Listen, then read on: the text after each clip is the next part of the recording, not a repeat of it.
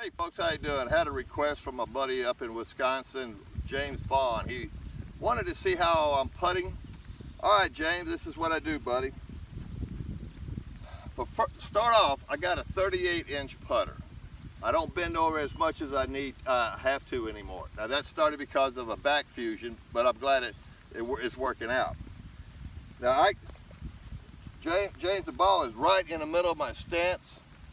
My eyes are right over the ball, okay? Right over the ball. The, the, uh, the face, the, the club is flat on the ground. It's not, eh, you know, elevated one way or another.